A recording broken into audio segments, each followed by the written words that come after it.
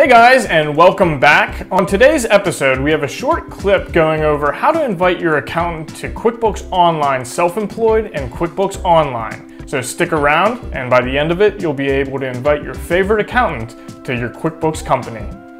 All right, so we've logged into our QuickBooks Online Self-Employed dashboard, and from here you're able to navigate to the various areas of the company.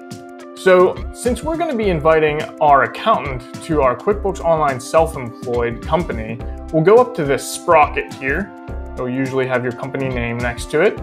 And then you'll click on Accountant under the About You section.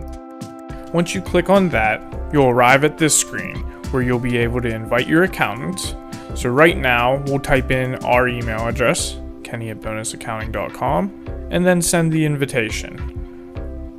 From there, the accountant will receive an email indicating that you've invited them to the QuickBooks Online self employed company of yours.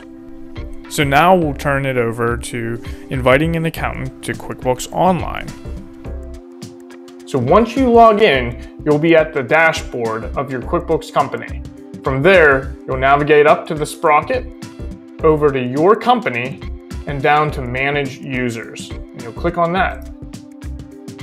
From there, you'll be able to see the users that you have and then any accounting firms that you have already invited.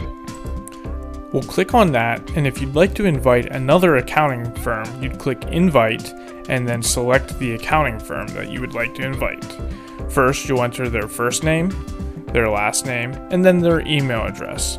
This will then send the accountant an invitation that they'll click to accept, and then from there, they'll have access to your books. So there you have it. That's how you add an accountant to your QuickBooks Online file. All right, so it's pretty easy to add an accountant to your QuickBooks Online company and your QuickBooks Online self-employed company. If you ever have any issues, it's always best to have an accountant who has access to your account. That way they're able to easily address any questions and concerns you might have. So always feel free to add us to your QuickBooks Online company. Have a good day.